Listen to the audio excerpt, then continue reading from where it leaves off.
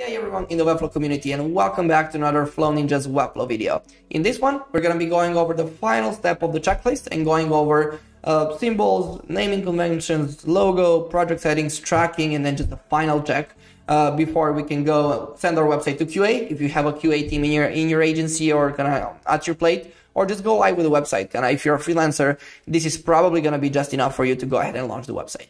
So let's jump straight into it.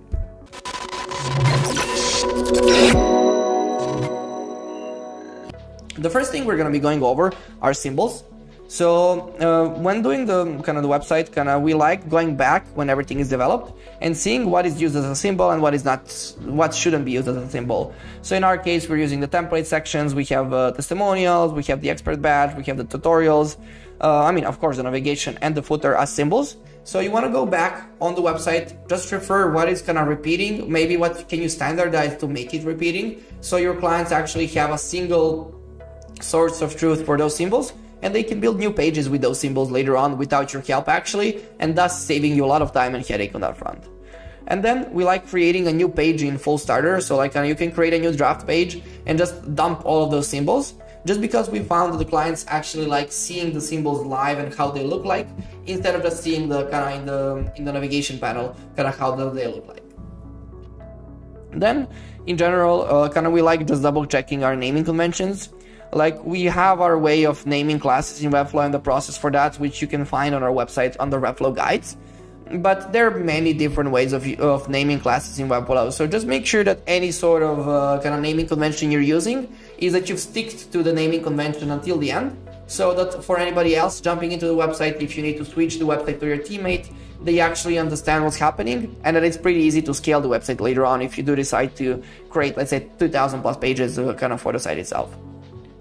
So following that, all classes on like that Flow Ninjas team is building are named in title case we name the page names in title case and then we name also interactions uh, the way we name classes. So for example, if you're having a home uh, um, an interaction for the homepage, first off being specific for the page it, it's on, so that is homepage. Then the section it's on is hero, and then what it's doing is loading the page. Or testimonials cards cover in, testimonials cards cover out, etc. etc. Reading the, the flow starter here can help you understand it a little bit better.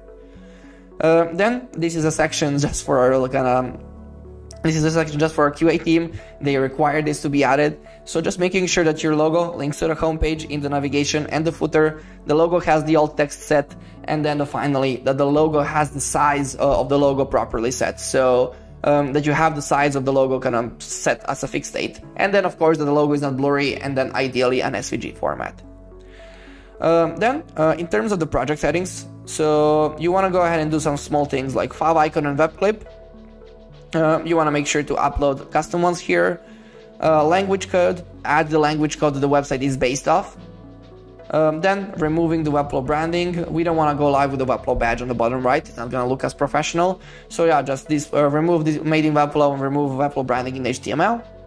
Set the time zone. So this can be a really small uh, and kind of fun feature you can add. Is like for example, if your clients are launching blog posts or whatever, but you still have the time zone, let's say in Belgrade and they're in US, they're not going to be happy that their blog post went, uh, let's say, eight hours earlier than needed. So just make sure that you can just know where your client is at and then just set a time zone to be their time zone.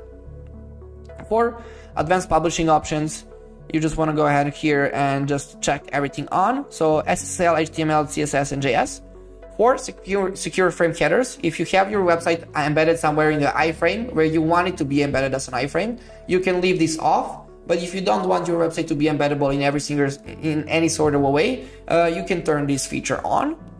And then in terms of the custom plan branding, you can go to editor. And for our clients, we like adding the branding icon here. So like uh, adding uh, kind of Upwork, adding SmartSuite or whatever kind of Clara, adding their branding, which is gonna make their marketing team feel at home when they go ahead into the editor mode and start editing the website itself. In terms of tracking, uh, we always add a GTM to the website and then instruct the clients to add any sort of tracking they want to add to the website to the GTM. So the best practice is to ask your clients to invite you to their GTM container so you can see what they're adding and maybe say, okay, that, that's that's a lot of scripts. You can push back a little bit or add some custom um, ways of actually loading the scripts after the page loads or just kind of adjusting that when you're doing the speed optimizations. And then also uh, you're gonna be able to pretty easily uh, copy the code for the GTM and then paste it in Webflow.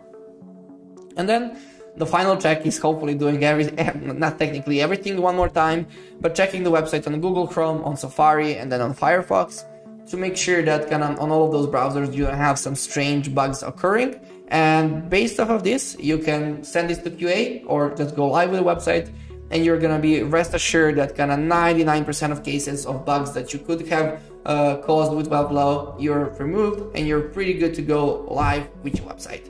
So you can either clear the cache, so clear everything out, you have a new checklist to go to, um, you can just kind of go ahead and launch a new website, and then finally, ideally, go ahead and drag the checklist in your bookmark so you can refer to the, this checklist every single time when you're uh, kind of building a new website. So, looking forward to creating many more resources in the future, and stay tuned. Bye bye.